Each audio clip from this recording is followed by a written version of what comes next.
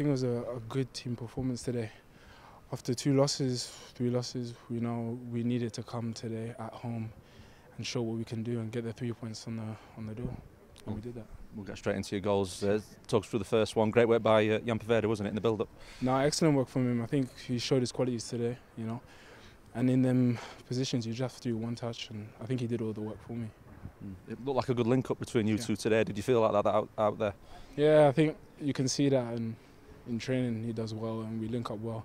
But we're just happy to get it off uh, in the games. Talk us through your second goal. It felt like you were hanging in the air for about an hour before before you got on the end of that. No, yeah, I had to really read it and see Marv. As soon as he lined up, I knew I had to be there second post to just head it in.